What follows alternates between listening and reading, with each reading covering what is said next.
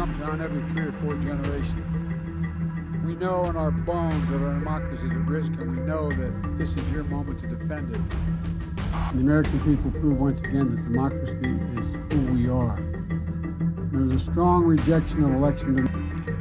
Racism, anti-Semitism, homophobia, transphobia, they're all connected.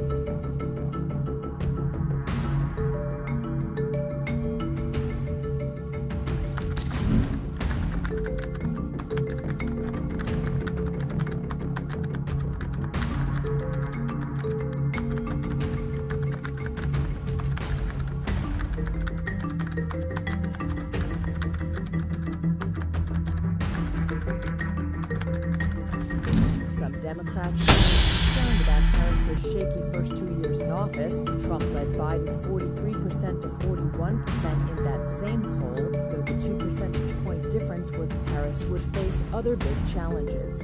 If promoted to the top of the ticket, she would have barely three months.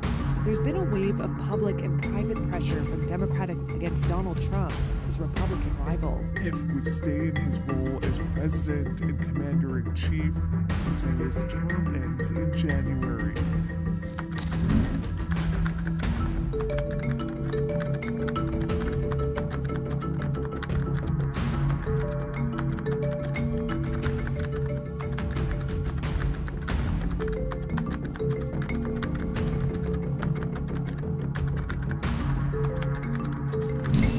U.S. President Joe Biden has ended his faltering re-election bid.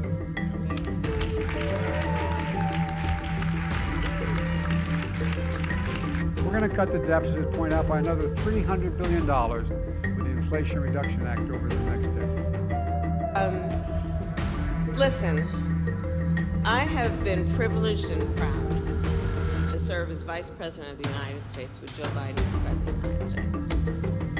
And what I saw of that billionaire cited California gender identity law as the quote final straw week endorsed Republican Donald Trump for president. Wedbush Securities Managing Director Dan Ives said there's nothing random.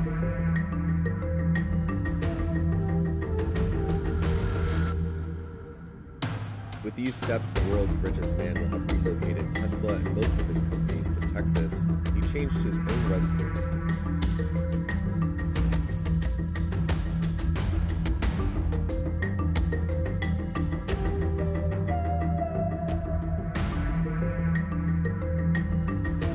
Musk in recent years has become outspoken on politics. He often criticizes the Biden administration when Democrats present SpaceX's main office would move to an existing facility in Boca Chica, Texas, while X would move to Austin, but the extent to which jobs are facilitated.